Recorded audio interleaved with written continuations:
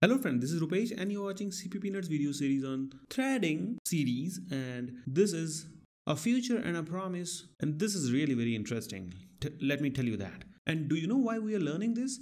Actually, when you have your main function and let's suppose this starts here and end here, you create a thread here and you have your function which will act as a thread here. So you will pass this function name here.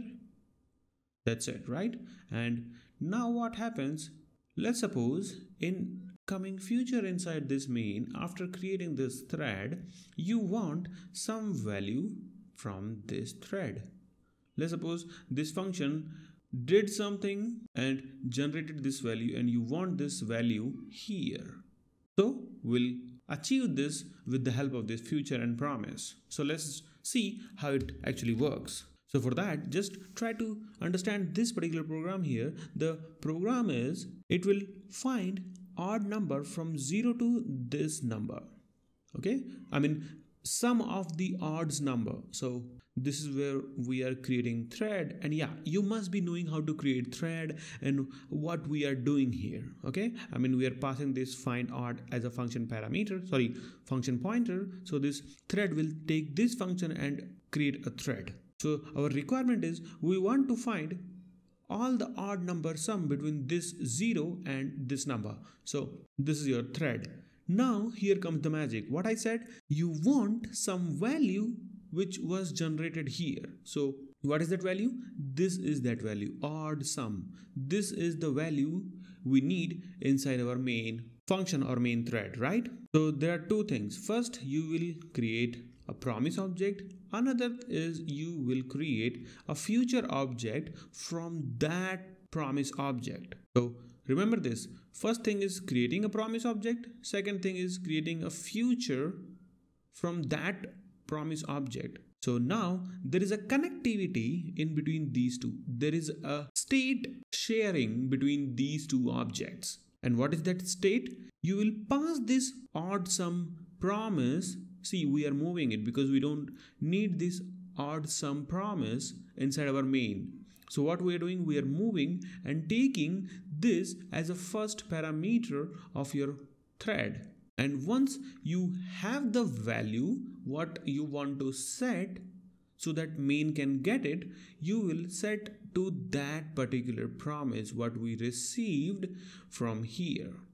And this is the way to set it. See this is your value you want to send to this main you will set that value using that set value inside this promise now you created this future from this promise right what you send here now Using that future, can you see this? We are getting the value. And this is how it works. Have a promise object, you send that promise to this thread and once you are ready with the value, you will set that value to that promise and we created a future object from that promise and if we are asking the value, it will get it.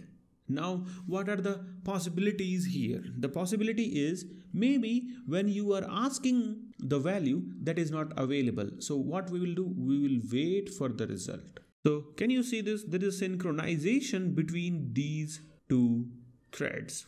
This is, let's suppose, thread T1 because we created it and this is a main thread. So what we did, we created two object, we created a thread, we passed this odd sum and let's suppose this is taking three seconds.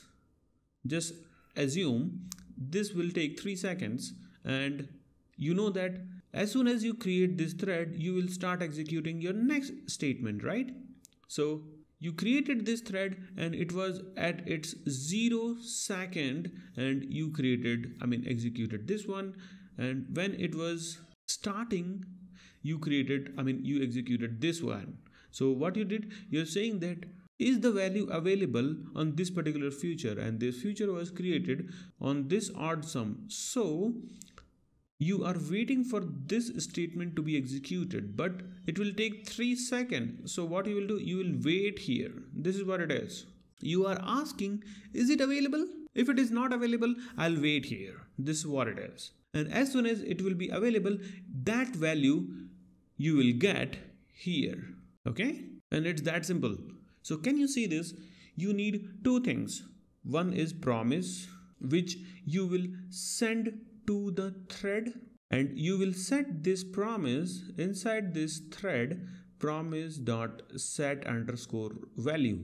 And you will set some value here what we are doing here. And once you set this promise you at main at here had the future object which was waiting for this to be executed. Now once this is executed it will get that. And another scenario is as i said this is taking 3 seconds but the time between this line and this line right now is very less. I mean it will not take a fractions of second to reach this. But maybe let's suppose in between these two line we are taking 5 seconds to reach. Maybe there is some job here we are doing which is taking 5 seconds. So you created a thread which will generate a value in 3 seconds and set that promise but you asked after 5 seconds. So what do you think? What should happen? Exactly. You will get that value immediately.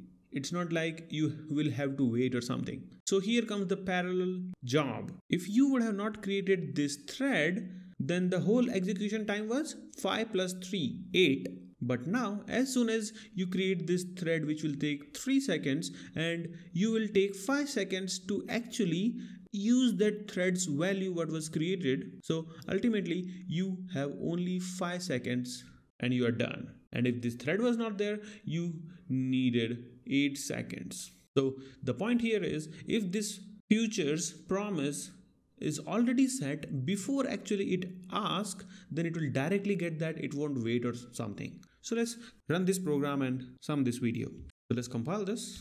Compile successfully. If we will execute it see it is waiting. So wait is coming here. And now the result is there and we have completed. So let's quickly see how it is working. We printed this. We created a thread which is taking uh, let's suppose three seconds or uh, two second or three second. We waited for three second i guess. So it is taking three seconds and here we are waiting. Because you call this that's why you was waiting and this completed was not printed. So once this value is available this got printed and this completed was also printed.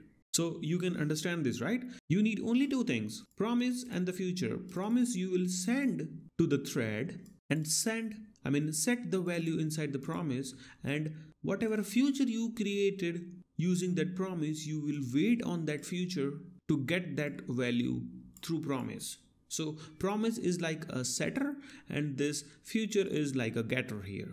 So so i know you like the video. Don't forget to hit the like button guys and make sure you subscribe to my channel so that you will get the notification for upcoming videos like this. And this is the channel where you will get c c++ data structure algo and design pattern and whatnot in future. So consider subscribing. We will enjoy together. See you in the next videos. Bye bye